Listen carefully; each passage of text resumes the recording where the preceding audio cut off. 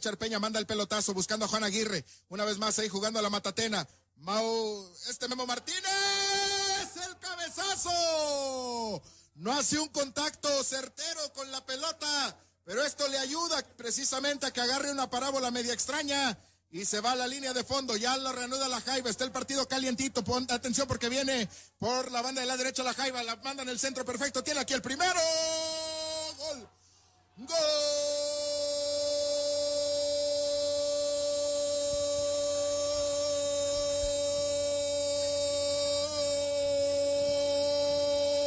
de la Jaiba. La visita moja primero en esta contra que hicieron en una pelota parada a favor de Celaya. Le queda el remate a Memo Martínez.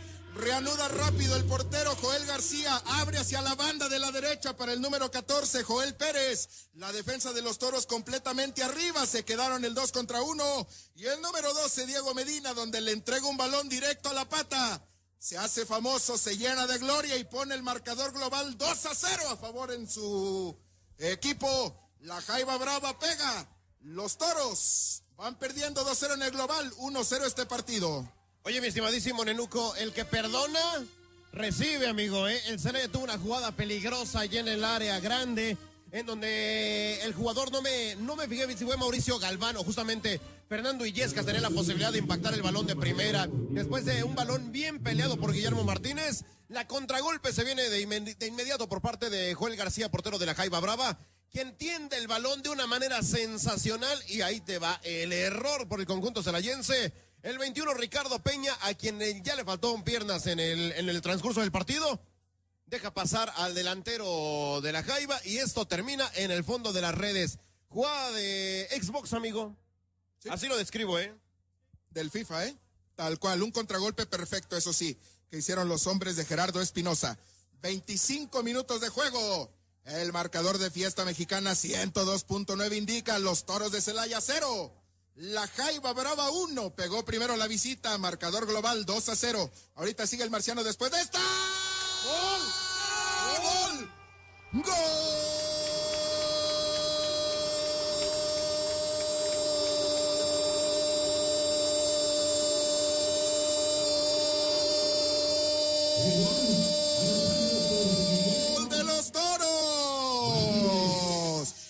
pegaron en el orgullo a los dirigidos de Israel Hernández Pat. Se ponen la casaca, trabajan rápido y tras dos minutos cae el descuento del empate en una mala marca de la defensa de la Jaiba. Los cartones se ponen uno por uno. Al empate, el gol. El gol de quién fue mi Ferro Sales Cañas porque la neta no alcancé a ver.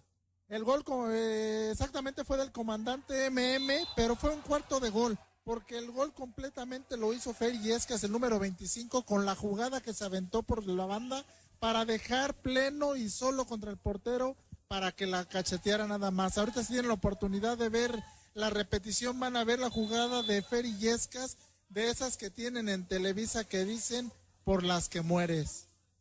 Ni más ni menos que Fernando Galván, perdón, Mauricio Galván. González. Y es Mauricio al que le cuentan el gol en la liga porque realmente, más allá de la dinámica, manda el centro buscando a Memo Martínez. La defensa es la que se encarga de empujar ese balón. No alcanzó a llegar el comandante. Los defensivos de la Jaiba le hacen el favorcito a los toros del Celaya. ¡Piñata! Oye, por cierto, hablando de piñatas, a Sergio Vergara ya lo están agarrando listo para piñata de las posadas, ¿eh? Lo traen a puro hachazo el día de hoy, amigo. Hablando de posadas, permíteme porque ve la jugada por parte del Celaya. Y Yesca se metió al terreno juego. ¡Penal! Venía Yescas intentando controlar esa pelota, la adelanta un poco. La defensiva de Tampico y Madrón le pone un reverendo guamazo aquí en la espinilla. El árbitro central no duda absolutamente nada. Corre y decreta la pena máxima. La vice de cerca Fernando Rosales. Celaya cerca de ganar este partido o ponerse adelante de este partido, mejor dicho. Toda esa jugada es patrocinada por mi comandante Memo Martínez, que con toda la visión que tiene y con todo lo delantero que es, le dejó el balón escurridito para que entrara directo el Ferry Yescas, para que solito nada más se dejara sentir y se dejara caer tal cual lo hizo. O sea que este penal lo hizo y lo va a cobrar Memo Martínez y va a coronar. 2-1, les adelanto el marcador. A ver. Ya agarró la pelota el comandante Memo Martínez. De inmediato tomó el balón, dijo, voy yo a cobrar la pena máxima. Pero George Aguilar, tú que estás observando la repetición con la tecnología de radio resultados, ¿fue o no fue penal? Híjole, dudosa. La verdad es que si la marcas o no la marcas, pudo haber pasado cualquiera de las dos cosas, estuviera bien. Si hay un contacto muy ligero, no para que se cayera Fernando Illescas, el árbitro central ya lo marcó y es posibilidad para que el Celaya pueda tener la posibilidad de ir ganando en este partido y empatar el tema del global. César Bernal fue el jugador que cometió el penal número dos por parte de la Jaiba. César Bernal se está arrepintiendo ahorita. Juan García intentando presionar al comandante. Le abren los brazos. Se le acerca toda la comitiva de la Jaiba al comandante que en el machón penal. Me lo quiere desconcentrar, pero el comandante está, diríamos acá, cañitas, firme y estoico. ¿Sí vino estoico hoy? Sí. Y está a punto de cobrar el penal. Memo Martínez se perfila. El árbitro central está checando todos los datos, todos los detalles. Memo Martínez, concentrado, tomó vuelo como de unos cinco pasos. Está esperando el silbatazo del árbitro. Ahí viene el silbatazo. Memo Martínez toma su tiempo, levanta la cabeza. Joel García, arquero de Tapico Madero. Viene el disparo. Joel García se hace grande. Se tiende sobre su costado izquierdo y para esa pelota en un penal mal cobrado por Memo Martínez. Cañitas. Tardó mucho Memo en cobrar y le pegó feo y muy quedito. Ay, ¿qué te puedo decir, mi querido Marciano? Tienes toda la boca llena de razón. Este penal era para reventarlo, para romper la red y que se fuera hasta el norte del país este balón, pero lo que hizo fue quererla, quererla cobrar con elegancia, con soltura y no. En estas temporadas, en esta, en este tiempo era reventarla para que fuera gol. Mira, Memo Martínez había anotado en la temporada, si no me equivoco, y me lo puedan corroborar ustedes, compañeros, tres goles de penal que le ayudaron muchísimo a ir al liderato del goleo en la Liga de Expansión. Tienes posibilidad de anotar un gol en una semifinal vía penal, que es lo máximo que habías hecho realmente en la temporada. El gol de hace unos instantes te ayudaron porque llegaron antes que tú los defensas y la empujaron. Memo Martínez, estos, estos juegos son en donde tienes que hacerte grande a la segura. Dio pasitos, la tiró muy suave, muy en medio. Bien la reacción de Joel García, quien detiene el balón. Pero oye, Marcianito, te estás jugando una semifinal. Hoy Sergio Vergara colecciona faltas. Se hizo un coleccionista de faltas el jugador chileno. Es correcto, me clasificó de forma adecuada. Ok, ya le puede pegar Vergara con la pierna derecha. Con la izquierda está Mau Galván. Más atrás está Ricardo Peña. Dos, cuatro, cinco, seis jugadores a la barrera. Uno acostadito para que no lo sorprendan. Y va Vergara directo con el balonazo.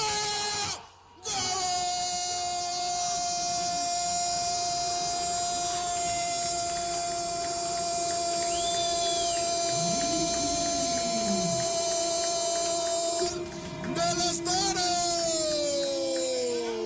Una vez más el chileno, el sudamericano con el sello de la casa, metiéndole la agujeta al balón, dejando sin acción al portero Joel García, donde le mete toda, todo el zapato colgándose en el ángulo.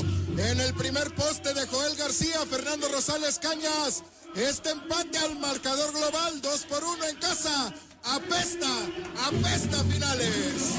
Gracias Chile por dejarnos ver golazos como el de hoy. El jugador Chaparrito que fue el jugador del- del partido nos hizo soñar, nos hizo ponernos en la final hasta este momento con ese tirazo a escasos cuatro metros del área grande, como bien lo decía George Aguilar, le metió el zapatazo y el ángulo de la portería, al ángulo derecho del, del equipo visitante se clavó ese baloncito, ese baloncito que entró, pero sabroso. Gracias, Chavita. La verdad es que fue un golazazazo por parte de. Oye, no, la verdad, gracias, Cañitas. Ayer en el terreno de juego lo viste clarísimo. Sergio Vergara no se la creía, corrió de inmediato hasta saludar enfrente del palco, me imagino, a gente de su propia familia, a los directivos, o no aquí, no sé a quién le dedicó el gol, pero gran anotación en Uco, ¿eh? en Celaya. No me quiero- Ganando el día de hoy, dos goles a uno. No me quiero colgar esa medalla, pero en cuanto anotó, volteó hacia acá. Me queda claro que fue un gol dedicado a mi persona. Mira, mira, mira, ahí está, ahí está, ahí está. Ahí está, mira. Me está mandando el beso, ¿te das cuenta? Justo veíamos la repetición ahorita en los monitores, Nenuco, y veíamos que Sergio Vergara besaba el anillo de su mano. Me imagino que se lo dedicó a su esposa, pero ya sabes, el marciano. Si le gustan gordas, yo no sé por qué se apunta con Vergara, carnal. Es que es la amante. 2 a 2 marcador global con este marcador. Los toros se meten a la final, pero atención porque viene el número 7, la Jud. Hace el cambio de perfil. Eh, sale en medio de tres el Allense. Se abre hacia la izquierda para Ramos. Ramos mete el centro a media altura. Le queda en la pelota a Campestrini, pero el árbitro dice que hay penalti. Penalti a favor de la Jaiba Brava. ¿Es correcto lo que digo, mi buen Fer Rosales? Exactamente, marcó un penalti el árbitro central. Penalti entonces a favor de la Jaiba Brava. Y ahora los cartones, completamente la lectura de juego opuesta. La que falló Memo Martínez puede ser determinante por la misma vía de los 11 pases en la misma portería. Vamos a ver si Campestrini se hace Falta grande, George Aguilar. De Dani Zamora, si no me equivoco, intentando despejar la jugada en un centro peligroso, una diagonal muy fuerte ahí en el, en el área grande del Celaya. Se lo lleva puesto, ¿eh? O sea, vamos a ver ahorita la repetición, pero creo que el árbitro central está en lo correcto, una jugada completamente circunstancial, una falta que no es buscada, pero a destiempo por parte del jugador del Celaya, Nenuco. Desconcentración. Ahora te digo una cosa. Minuto 44, ¿eh? Aguas. Y atención, la va a cobrar el número 11, Toño López. Antonio López contra Campestrini. Campestrini contra Antonio López. Portero contra delantero. Vamos a ver qué pasa. Desde los 11 pasos, esta jugada define el finalista de este Guardianes 2020 y a esperar lo que pase al rato entre Morelia y Atlante que van uno por uno en el marcador. Le va a pegar con la derecha. ¡Toño!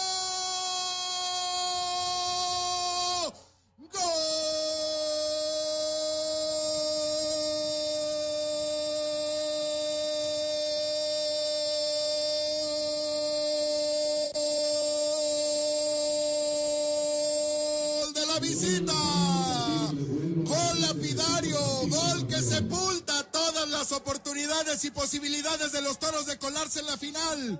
Gol. Expulsado. Gol que lo mantiene en la final a la Jaiba Brava. Campestrini expulsado. El partido se le sale de las manos a los dirigidos de Israel Hernández Pat.